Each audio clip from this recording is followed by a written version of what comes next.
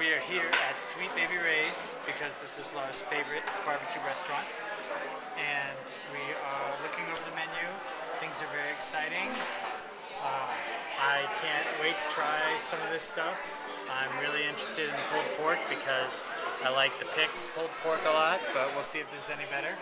Um, the restaurant uh, is not full right now, but we're hoping it will be excellent and packed later. It looks like a stock bar.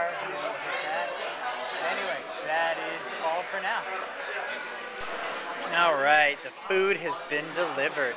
Here is Laura's sausage she's been looking forward to, along with some baked beans. Uh, here we have corn, uh, no, I'm sorry, coleslaw. And here's cornbread for me. Pulled pork, looking succulent and juicy. And cheesy mac and cheese. Awesome! Judging by the aftermath of our meal, we did enjoy. The sausage was as good as Laura remembered.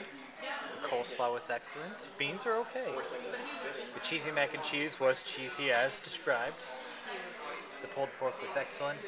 And the cornbread delicious. We'll probably be back. Maybe not this week, but soon.